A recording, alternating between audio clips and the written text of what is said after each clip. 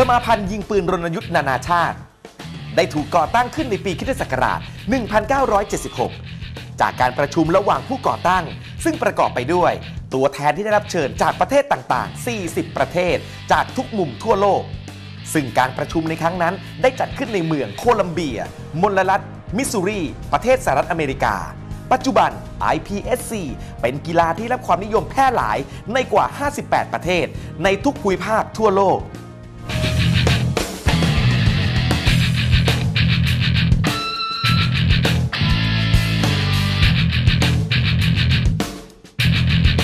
ในการแข่งขันกีฬา IPSC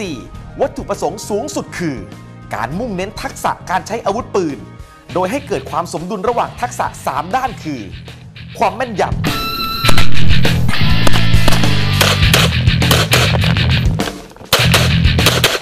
ความรุนแรง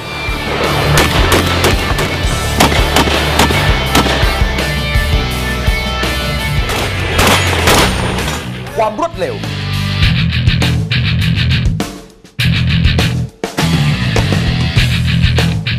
การคิดคะแนนในการยิงปืนแบบ IPSC คือ การนำคะแนนที่ได้จากการยิงในแต่ละสนาม มาหารด้วยเวลาที่ใช้ในการทำการยิง จะได้เป็น Hit Factor นักกีฬาที่ได้ Hit Factor มากที่สุดจะเป็นผู้ชนะ